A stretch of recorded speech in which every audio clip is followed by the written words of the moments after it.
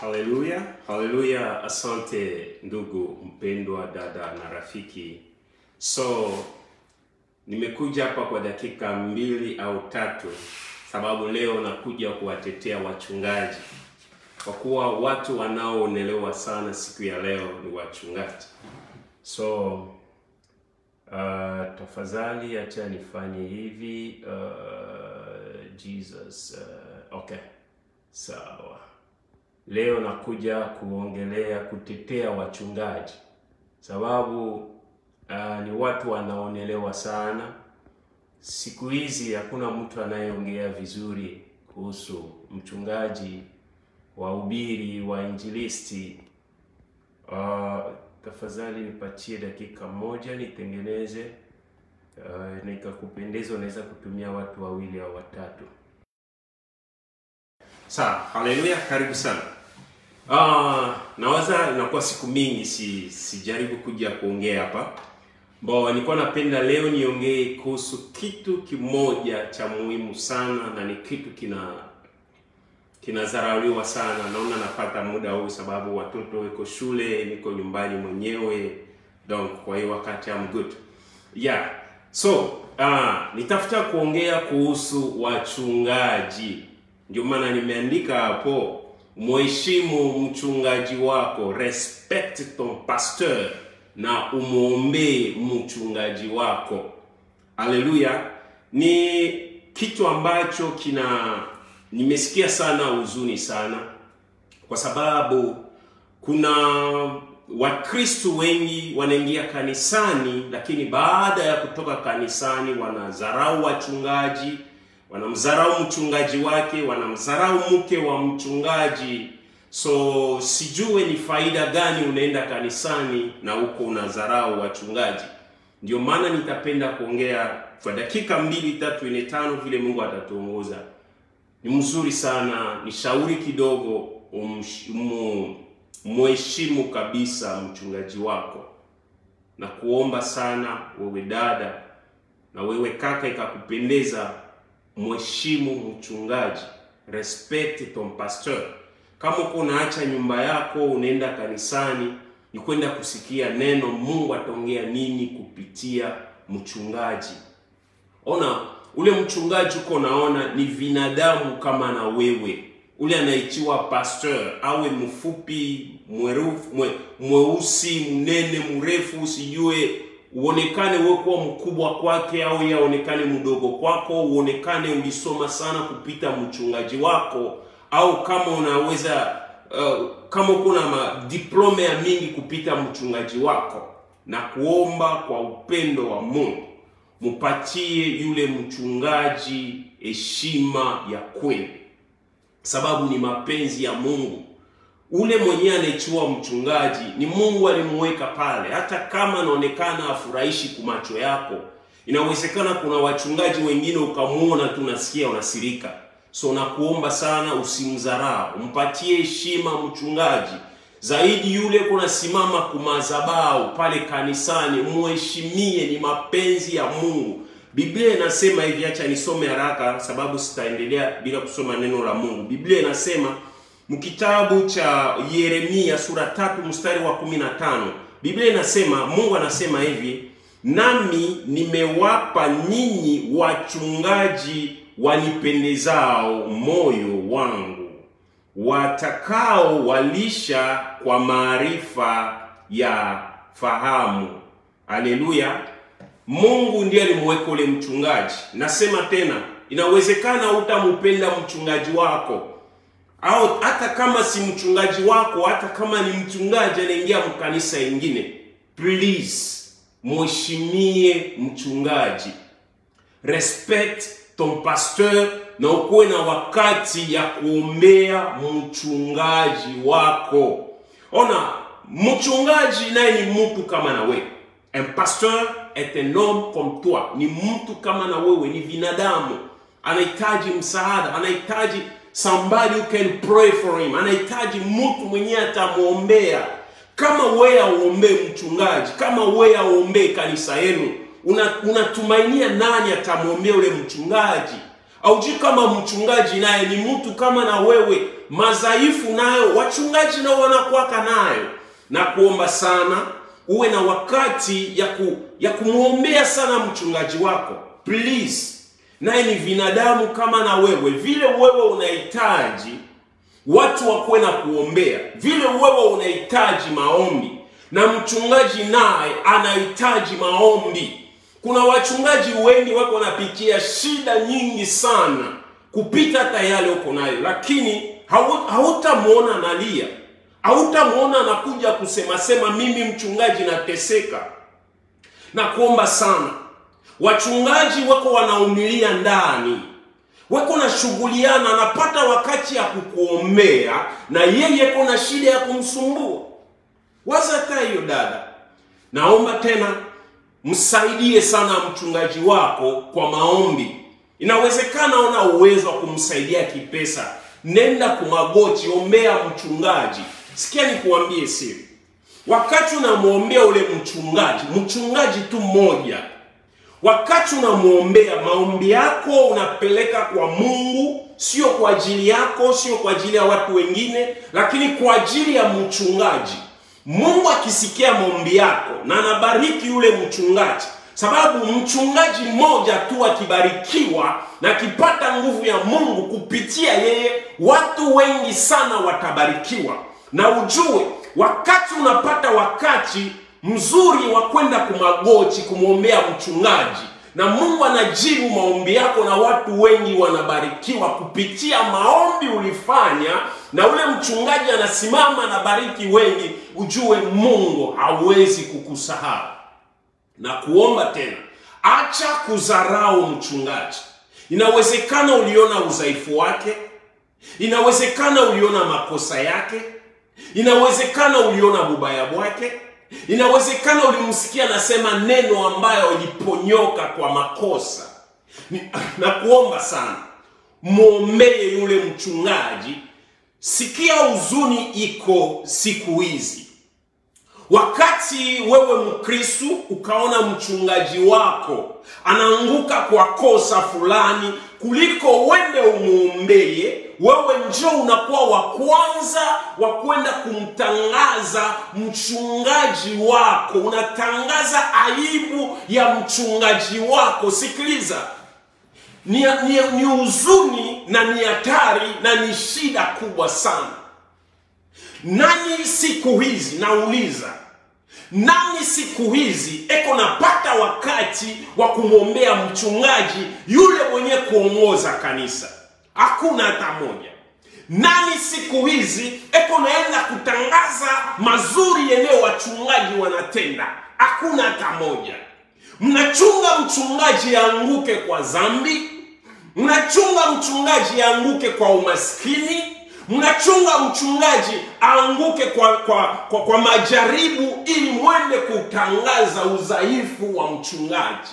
Ni aibu, na ujue wakati unaenda kutangaza udhaifu wa mchungaji fulani, ujue kwamba unakuwa chombo cha shetani cha kusaidia watu wengine wasiamke tena kwa kumtafuta Mungu, sababu mpagani akipata habari ya kwamba wachungaji hawatembei njia sawa, wapagani wakipata habari ya udhaifu ya mchungaji wako yenyewe ulienda kupeleka nje, unawaza kweli? Ile maneno ulipeleka nje kwa kuhusu mchungaji wako inafika kumasikio ya yule mpagani, unawaza kweli huyo mpagani atasikia utamu wa kumsogelea Mungu? Ndiyo maana nimesema peko hatari sana. Sababu wewe unakuwa njia ya kupoteza yule mpagani, na Biblia inasema mtu yeyote mwenyewe anaweza kupoteza hata mmoja. Mungu anasema hivi, ingelikuwa heri ule mtu hangelizaliwa hata. Ni vyema wachugua kamba wamfunge shingoni na watie jiwe kubwa ya kusiaga, wakamtupe katikati ya bahari ili azimike, apotee. Sikiliza, kuna mtu mmoja katika Biblia, mtoto ya Yobu. Yobu yule tulisikia Yobu alipata mateso. Ilifika wakati Jobu kasoma kitabu cha Yobu kenda mstari wa 22 kuendelea, huyo Job alikuwa alifurahi sana, kakunwa mvinyo, sasa akalewa, akalala. Na wakati ali, ali, alikuwa akilala, mtoto yake akakuya kuona uchi wa baba yake. So baada ya kuona hiyo uchi, akaenda kuambia wa, wa ndugu zake kwamba ameona uchi ya baba yake amelala huko. Sasa wale wa ndugu yake wakachugua nguo, wakienda kwa nyuma, weko nasogea mpaka wakafika, wakamfinika, wakafinika uchi au aibu ya baba yao. Na wakati baba yao alipoamuka, akajua habari kwamba huyo mtoto yake Sam, kama ni Sham kama Sam, alienda kutangaza uchi ama aibu, vile baba yao alilala uchi, akaenda kutangaza. Biblia inasema kwamba huyo kijana alipata laana, ilitoka kukinwa ya baba yake na Mungu akaikubali. Ndiyo maana napenda kukwambia Biblia inasema hivi, umheshimu baba yako na mama yako ili upate kuishi miaka mingi hapa duniani na uishi kwa maisha ya heri na baraka. Huyo ndio mzazi wa mwili wa kimwili. Mara ngapi sasa mzazi wa kiroho anahitaji heshima? Na Biblia inatuambia vile vile katika kitabu cha Timoteo wa, wa kwanza sura uh, Timoteo wa kwanza sura uh, tano mstari wa kumi na saba Biblia inasema hivi, wapatie asema waheshimu uh, viongozi wenu, wapatie means uh, wa, wachungaji wanastahili wana, wana heshima mara mbili. Sikia vizuri mpendwa, ni kwa ajili ya kukusaidia wewe unayezoea kudharau wachungaji. Biblia inasema mheshimu baba yako na mama yako juu kuishi miaka mingi na maisha ya heri.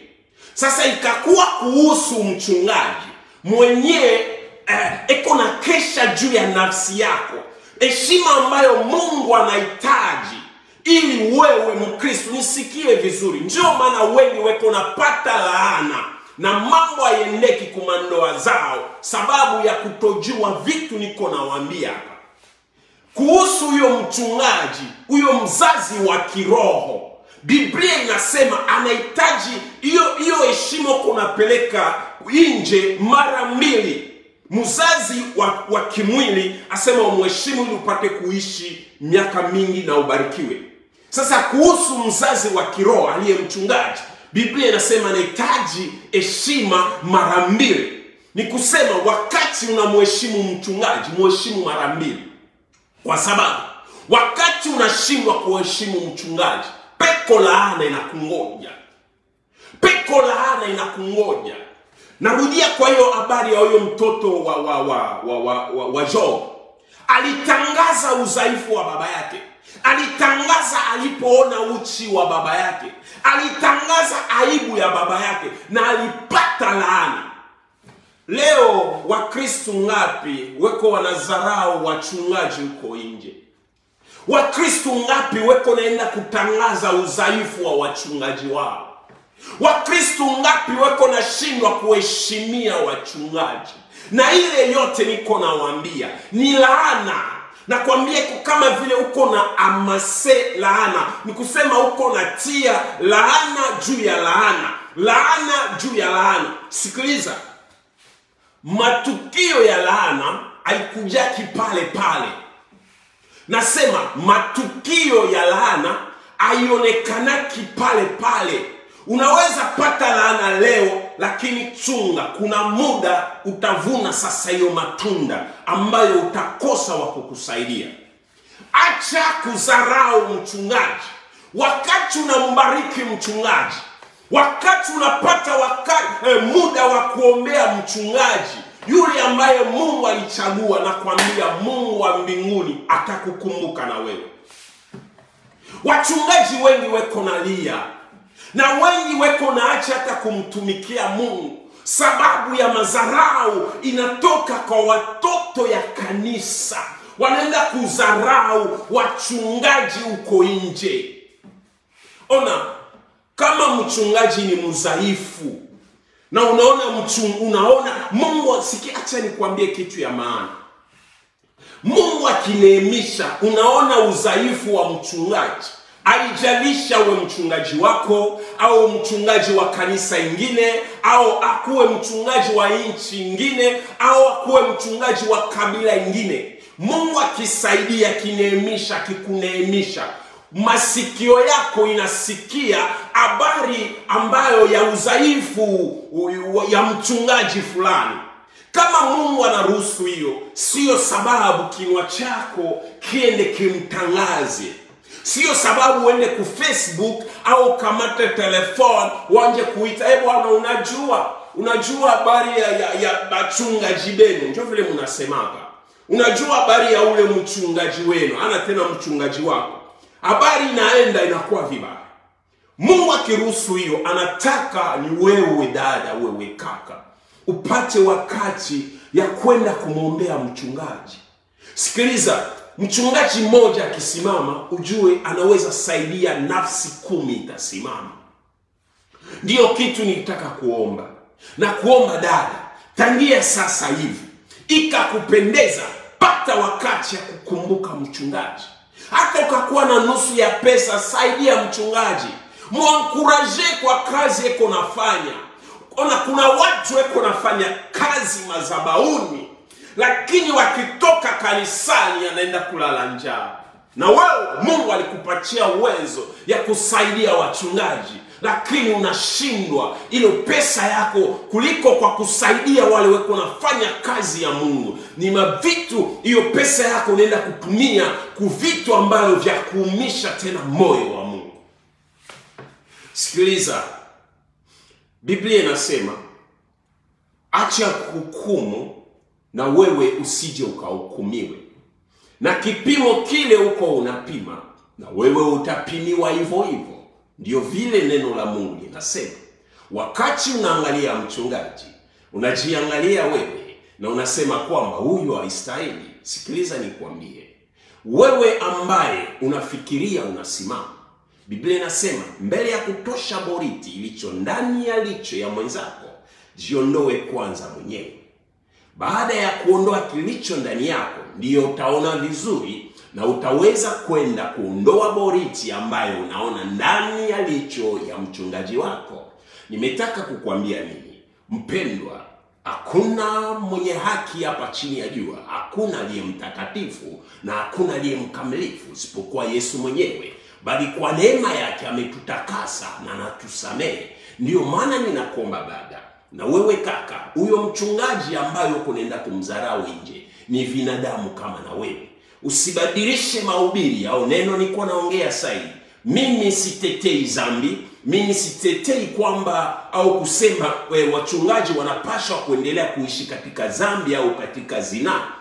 Hapana, ukasoma kwa kichwa cha mahubiri, mimi nasema mheshimu mchungaji, mheshimu mchungaji na umwombee. Ndio kitu niko nataka kukuambia hapa dada, na kuomba mpendwa katika Kristo, wewe uko naingia kanisani, wakati unatoka nyumbani na unaenda kanisani, hauendi kupitisha muda, unaenda ni kwa ajili ya kumsikiliza Mungu ataongea nini. Sasa huyo mtu ambaye Mungu atatumia kwa ajili ya baraka yako, ikiwa umeisha kumdharau kabla hujatoka nyumbani, unafikiria chochote atakwambia wewe utasikia, hiyo ni hatari ingine.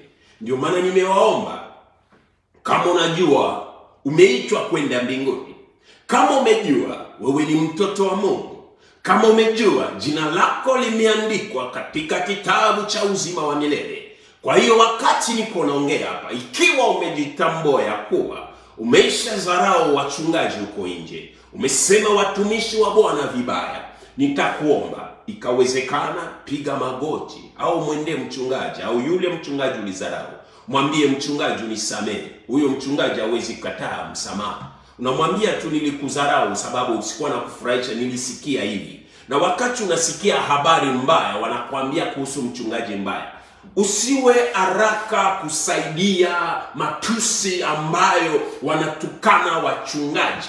Pata wakati ya kumuuliza huyo mchungaji Mchungaji, nilisikia kwamba wanasema hivi kuhusu wewe, eske ni kweli? Hiyo itasaidia sana wapendwa. Naomba sisi kanisa tuko familia moja. Haijalishi unaingia kanisa ya jina gani na huyu wa kanisa la jina gani. Ikiwa kama sote tuko wa kristo tunaomba mungu moja tunaye bwana mmoja na tunaye roho mtakatifu moja na tunayo imani moja. Ikiwa kama tunayo moja ujue kwamba mungu wetu ni moja na tunapasha kutembea kwa umoja.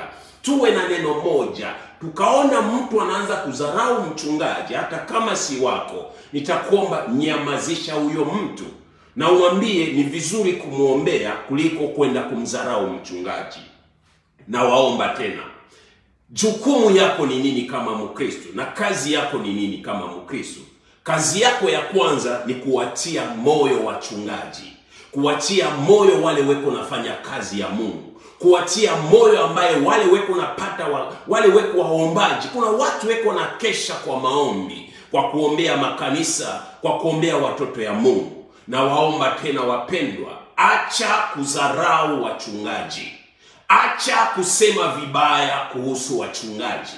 Kazi ambayo mungu alikupatia kwa wewe kuwa mkristo ni ili wewe uwaombee. Biblia inasema hivi mungu alimchugua uh, uh, I don't know, Jeremiah. Alimchugua eh, Jeremi katika eh, kiroho na akamuweka katika bonde la imejaa mifupa mifupa mikavu kama vile biblia inasema. Biblia inasema na mungu akampitisha ili yeremia aone vile mikavu mi, mi, mifupa ilikuwa imekauka apate alizunguka bonde yote katika kiroho ili aone hiyo mifupa mikavu. Na mungu akamwambia je yeremia mifupa hii yaweza kuishi? Sikiliza nikwambie. Yeremia akamwambia mungu asema baba wewe wajua na mimi napenda kukwambia hivi. Narudia tena ni neno nilisema. Ikiwa mungu alinemisha uone madhaifu ya mchungaji ikiwa mungu amekunemisha uone madhaifu ya mtumishi wa mungu yoyote. Ikiwa mungu amekunemisha uone mabaya ya mtumishi wa mungu yeyote nasema tena mungu anauliza je wakati unaona hiyo ma- madhaifu ya huyo mchungaji huyo mchungaji anaweza simama tena?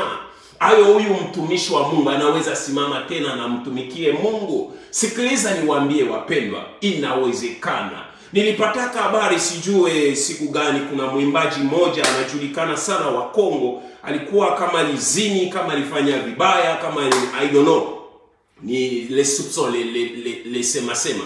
So watu nikasikia watu wanaongea vibaya sana. Ni kweli alifanya makosa ni kweli alifanya vibaya.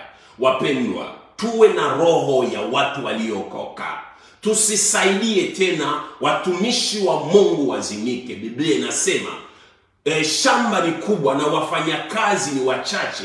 Mwambie bwana ili atume wafanyakazi wengi. Sikiliza niwambie napenda kuwaombea wakristo. Najua uko na mchungaji wako. Kama unajua hata kati ya waimbaji unaona mmoja ameanguka kwa madhaifu au kwa dhambi.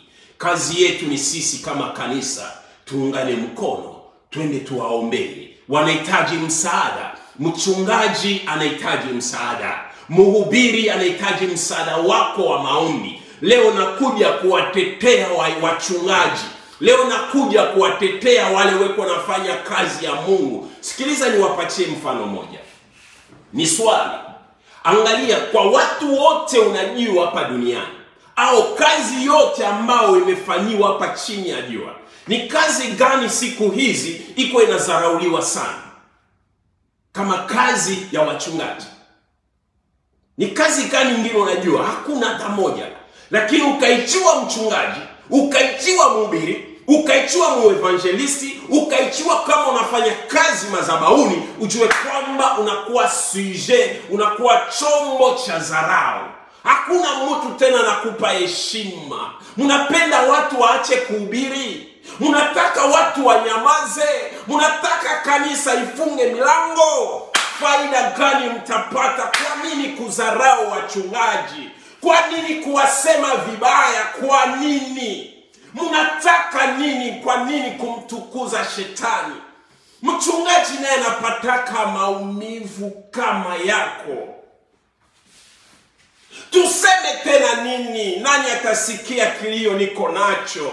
Kuna wachungaji wa, wa, wa, wengi, kuna wahubiri wengi, kwake ana chakula, analala fasi mbaya, anakosa wa kumsaidia, lakini utamwona anachugua biblia yake, anaenda barabarani munjia kutangaza Yesu Kristo na eko nambia watu muokoke, eko nambia watu mwache zambi, eko nambia watu mte mgeukie Yesu, eko nambia watu kwamba Yesu yupo karibu kuja, lakini mnapomsikia mnaenda kumdharau, mnasema yule amekosa kazi. Kweli ya kweli, Nasema amekosa kazi. Kwa nini kudharau?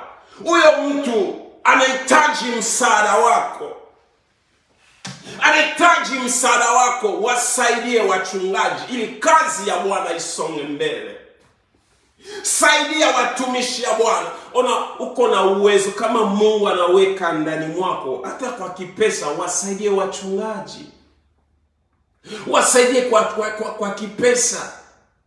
Mnajua mchungaji anahitaji pesa Unajua iko na shida hata ya kulipa kanisa, unajua iko na shida hata ya kulipa nyumba yake. Uko na uwezo kama Mungu alikubariki, kwa nini usisaidie?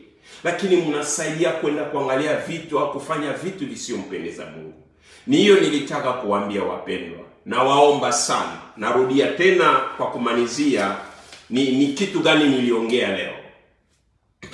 Nilikuwa naongea ni kusema Mheshimu ndio kichwa cha neno tu la mashauri nilikuwa na hiyo kidogo. Inasema umheshimu mchungaji wako na umuombee, sababu Mungu alimweka yule mchungaji kwa ajili yako. Haijalishi kama unajiona wewe ulisoma sana kupita yule mchungaji, au unaona kabila yako ni ya lazima ya mzuri sana kupita yule mchungaji au kama unaona hiyo kanisa yenu ya ule mchungaji ni ya kidogo na kuku wengine ya mkubwa, be Mungu anasema umuheshimu. Hata kama ni mfupi kwako, umupatie heshima mchungaji. Hata kama unaonekana kama uko na madiplome, ulienda mauniversite, madoktora, tusa ulisoma, so Mungu anasema umuheshimu mchungaji, asema zaidi wale wenye kupana eh, injili ya Bwana ni hiyo basi. Naomba tena hivi mpendwa, mbele ya mimi kumalizia, ikiwa kama umejitambua kwa roho yako yote, kwa dhamiri yako inaweza kukwambia, ukijua kwamba ulimkosea mchungaji, nitakuomba kitu moja, kawezekana umsogelee, mwambie mchungaji, unisamehe kwa sababu nilikuwa na kuongea vibaya, nilikuwa naongea na mtu fulani vibaya juu yako, unisamehe mchungaji. Najua atakusamehe itakuwa vizuri, halafu uende kwa magoti na umwambie Mungu nisamehe. Nasema tena, kuna wachungaji ni wengi sana duniani, ni wengi sana, wanahitaji msaada wa Wakristo. Wakristo tuwashike mkono wachungaji. Wachungaji weko na teseka, nasema wachungaji weko na teseka sana. Hakuna mtu eko nakumbuka kuombea mchungaji, hakuna mtu eko nakumbuka kwenda kumtetea mchungaji. Ona, ona wewe usipomtetea mchungaji wako, nani atamtetea huko nje? Unasikia ukasema ya ule mchungaji naye anajionaka, na wewe unasema mhm, na mimi namuonaka vile ule ya hata mchungaji wangu mimi naendaka juu tu ya. Sikia mpendwa, hapana hivyo. Kama unasikia wanamsema kwa hiyo njia, Yesu naye aliuliza huko nje, wanasema uh, uh, mimi ni nani? Kuna namna watu wanapachongea huko nje, na kuna kitu moja napenda kukusaidia. David huyu tunaitwa mfalme Daudi, alikuwa mfalme, ni mtu alichaguliwa na Mungu, David Daudi, lakini Biblia inasema Daudi aliacha ndoa yake akaenda kulala na mke wa mtu mwingine, na baada ya kutembea na kulala na ule mke akachugua tena ule mume ya ule mtu akamtuma kuvita ili ule mtu aweze kuwawa. Nisikilize, ijapo hiyo Mungu alimwita Daudi mtu sawa na moyo wangu. Napenda kukwambia nini? Narudia tena, mimi siko hapa kwa ajili ya kutetea dhambi, niko hapa kwa ajili ya kurudisha dhamiri ya watoto ya Mungu kwa kujirudisha ndani na kukumbuka kuombea wachungaji wako. Ingelikuwa Daudi alikuwa kwa hiyo wakati wetu au alikuwa eh, bishop moja au profete mkanisa moja sijue kama kwa hiyo tendo daudi alifanya kila mtu leo ingili engelimtangaza ku facebook vile nakuwa instagram youtube kila mmoja engelimsema mfalme daudi vibaya. Lakini mungu hakumsema daudi vibaya alimwita daudi mtu sawa na moyo wangu. Namaanisha nini? Wakati mtu wa mungu anaanguka sababu biblia inasema mtumishi wangu akianguka mara saba na mara saba mimi mungu nitamuinua, nitamsimamisha tena. Wakati unaona mtu wa mungu anaanguka ujue kuko tu njia ambayo atasimama. Asema akianguka mara saba manake mchungaji anaweza anguka. Sababu ni vinadamu wapendwa mnisikilize mnisikilize. Ndiyo maana naomba kumbuka soma neno la mungu kumbuka kuombea wachungaji. Kumbuka kuombea familia ya wachungaji. Kumbuka kuombea kanisa. Kumbuka kuombea wahubiri. Kumbuka kuombea waombaji wa makanisa. Kumbuka kuombea wanakwaya. Wale wote wazee wa kanisa kumbuka kuwaombea. Wale wote unajua kwamba wanafanya kazi mazabauni kumbuka kuwaombea. Na mungu akupatie neno ya kukuwa na watetea sawa basi uh, mungu uh, atubariki. Niyo neno nilipenda kuambia wapendwa. Asante sana kwa kufuata. Nitakuomba ushee kakupendeza. Niko naomba sana mshee sababu watu wengi weko wanalainiwa. Acha niwaambie hivi acha niwaambie hivi kwa kumalizia. Inanikuya sali mungu anataka niombe na nikwambie. Ona umeshaenda kanisa na makanisa unatoka kwa hii kanisa unaenda kwa kanisa ingine unatoka kwa hii kanisa unaenda kwa kanisa ingine unabadilisha makanisa sijue unabadilisha wachungaji na wengine unakuwa nafata wachungaji wa kuma facebook ndio unakuwa bapapa mchungaji wako mwenyewe mchungaji mwenyewe mungu alikupatia au mjali kama kuwa papa na umwitake hata siku moya papa na ni mchungaji unamwita baba fulani bile ile yote unajua unaona? So uh, mungu afurahi afurahi na hiyo. Mungu afurahi na hiyo. Hata cha kumi yako unakuwa unapeleka kwa bachungaji ba mafacebook ba prophet lakini kanisa ambako unaingia cha kumi yako haionekani. Hacha hivyo. Saidia kanisa lako lisimame saidia kanisa lako lione li, li, li, lizae matunda na utaona kabisa baraka ya mungu. Acha kuwadharau. Sababu kuna watu wengi leo wepo unapata maombi na maombi na maombi lakini maisha yao kuliko yende vizuri iko inarudia nyuma. Ujiangalie vizuri inawezekana uko napitia shida uko napitia matatizo yenye aishaki ulitafuta ndoa patikani ulishaomba unajene unafanya nini? Hakuna kitu kinapatikana. Basi nitakuomba simama kwanza ujiangalie. Angalia nyuma. Ni wapi ulikuwa unakosea wachungaji? Ni wapi ulikuwa unadharau wachungaji? Ni wapi ulikuwa unasema vibaya juu ya kanisa? Ona kanisa haiko ya mchungaji kanisa ni ya yesu Kristo. yesu ndiye alikufia kanisa. Haijalishi ukubwa wa kanisa ambayo utaona. Nyamaza acha kusema vibaya juu ya hiyo kanisa. Sababu kuko mwenye hiyo kanisa. Ona ukubwa wa kanisa sio umachi wa watu. Napenda kuwasaidia. Ndio maana mko na dharau wachungaji wenye kuwa na kondoo ine tano asema hey, njoka kanisa kale ona mwache hiyo mwachie mungu. Mungu akukuweka wewe kuwa juge au muamuzi. Mungu akukuweka. Mwache mungu.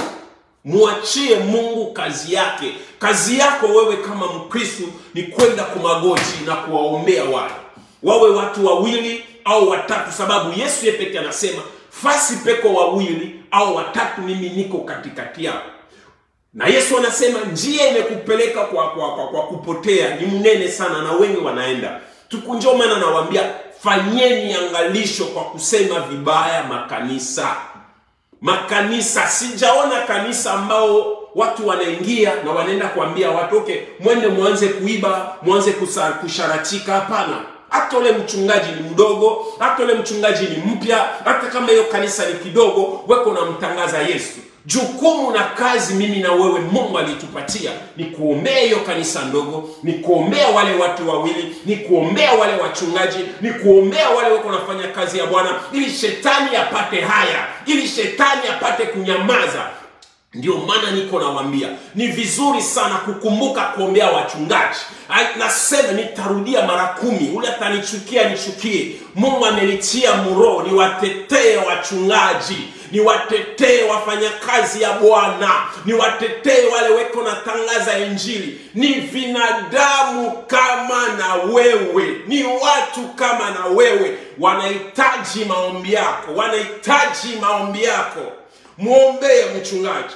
Mwombee yule kona ubiri. Ona inawezekana walikuambia habari mbaya juu ya ule mchungaji wako eko pale inawezekana uliona mabaya juu yule mchungaji wako eko pale. Inawezekana unaona huyo mchungaji alianza vibaya. Haijalishi namna vile alichiwa kumtumikia mungu. Haijalishi namna alianza hiyo kazi ya mungu. Haijalishi namna hiyo kanisa ilianza. Haijalishi namna hiyo kiwango hiyo kanisa inakuwa leo kitu mimi nakwambia mungu akukuweka kuwa muamuzi mungu akukuweka kuwa eh, eh, jijo wa hiyo kanisa mungu alikuweka kuwa muombaji. Uwe muombaji ombea makanisa ombea makanisa. Ona makanisa mengi kwenafunga milango kwako ni furaha. Watu wengi weko nacha kazi ya mungu leo sababu ya madharau sababu ya udhaifu wachungaji wanakosa wa kuwatia moyo wanakosa wa kuwahimiza na waomba tena kwa upendo wa mungu na waomba kwa, kwa roho yangu yote tusimpe shetani nafasi ya kuangamiza wachungaji. Tusimpe shetani nafasi ya kuangamiza makanisa. Tusimpe shetani nafasi ya kuangamiza watumishi wa bwana mungu anataka watumishi wawe wengi. Mungu iko natafuta wafanyakazi. Kwa nini kuwasema vibaya? Kwa nini kuwadharau? Kwa nini kwa nini kwa nini? Sote tuko watoto wa mungu mmoja. Basi mungu atusaidie sana. Mungu atusaidie sana. Sikia wakati unaenda kusema mchungaji vibaya uko unajifungia milango ya, ya, ya, ya, ya baraka ya mingi sababu mungu anasema ne touche pas a mes wins, usiguse kwa wapakaliwa mafuta wangu. Usiguse kwa wachaguliwa wangu. Mungu anasema wakati unamgusa mmoja wa, wa watumishi wangu ni kama unanigusa katika boriti ya licho yangu. Ndio mungu iko nasema hivi. Ndio maana niko nakwambia acha kumchokoza mungu. Wache wa, wapatie watumishi amani ukaona udhaifu wake muombee ukaona mabaya yake umuombee. ukaona kabisa kwa macho yako huyo mchungaji anaiba tomate msoko ya huyu mama eko pale. Ona hapana kwenda kumdharau. Nenda ukamwonye. Nenda ukamwone. Ukamwone mchungaji. Ona kwa watumishi wa mungu wote wenye kusemewa ni sijue kama kuko mwenyeko napata wakati ya kumsogela ule mchungaji na kumuonya. sijui kama kuko watu weko napata wakati ya kwenda kuombea wachungaji. Kwa nini tutadharau wachungaji wetu? Unawazia sisi tukidharau wachungaji shetani anaweza au wapagani watawaheshimia wata wapagani watasikia maneno inatoka mkinwa yao? Hapana kamwe. Hapana kamwe tushikane mkono kanisa la yesu. Yesu epo karibu kuja. Eko karibu kuja. Eko karibu kuja kuchugua kanisa. Saidia. Saidia watumishi wako kwa maombi. Haleluya basi nashukuru sana ninakuomba share video eh, sababu itaku, itasaidia wengi. Wengi weko napita mumalaana umaskini wenyewe auishi ni kwa sababu walisema vibaya wachungaji sababu ulisikia mtu anasema vibaya wafanya kazi ya mungu na wewe unasaidia na unatia chumvi na tomate haiko mzuri. Ha? haiko mzuri. So mimi sisaidie zambi. Nasema tena sisaidie. Ni kweli ni kweli na ni kweli. Kuna watumishi wengi wanakuwa njia ya kipesa wanaacha njia yao. Kuna watumishi wengi wanakuwa vitu ya washirati wanazini wanafanya hivi. Mimi siko pale kwa ajili ya kusaidia hiyo napenda tukuwe na hiyo roho ya ya wakristo ya kuinua wale walio dhaifu sana wale walioanguka tukuwe watu wa kuweza kuwasimamisha sababu mungu eko nataka watumishi wake wasimame Daudi alianguka mzambi. Tunajua Daudi alianguka mzambi, zambi moya kubwa sana, aina hata moja kama mbili. Alizini na mwanamke na akaua bwana ya ule mwanaume, lakini Mungu alimsamehe na Mungu akamuinua. Biblia inasema, narudia tena, mtumishi wangu akianguka mara saba na mara saba Mungu anasema atamwinua. Ni kusema ndiyo, mchungaji anaweza anguka mzambi, anaweza anguka, anaweza anguka dada na wewe kaka, msaidie yule mchungaji, msaidie yule mchungaji. Sawa, Mungu awabariki sana. Naona dada Salima anasema wachungaji abai abaitikake kushauriwa batakutenga na bataanza kukuhubiri kumadhabahu. Asante dada, mimi sijakataa ma, mashauri yako, sijakataa kitu unaongea pale, na kama utakuwa mtu atahitaji video naweza kukutia pale. Okay, so sikia nikwambie, ni kweli wachungaji hawahitaji hawakubali ma, ma, mashauri. Ni kweli wachungaji uh, batakuhubiri. Ni kweli ona, haiko ile, haiko shida ya lazima wewe timiza kazi yako timiza mapashwa ya Mungu, na kama unaona na wanakataa, nenda kumagoti magoti yako na uwaombee dada, waombee eh?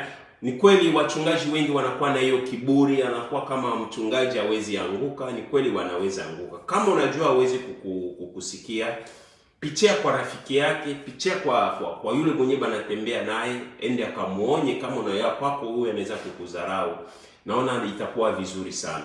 Basi ni kweli sana, tuwakumbuke wachungaji, tuwakumbuke sana, tuwasaidie kwa hiyo madhaifu yao, kama vile dada anasema hapa, ishakuwa moja ya udhaifu ya ya wachungaji e, ni moja ya udhaifu wa wachungaji. Ni mzuri sana kama tunatambua Biblia, hata Biblia inasema sema sisi nous qui sommes euh, qui sommes forts nous devons supporter ceux qui sont faibles. Sisi tulio na nguvu tunapaswa kuwasaidia wale walio dhaifu kwa kwa imani. Basi na nashukuru sana. Kwa hiyo nafikiri kama wote tumesikia, basi uh, mshare video na utumie rafiki yako, na Mungu awabariki tena. Amen. Bye.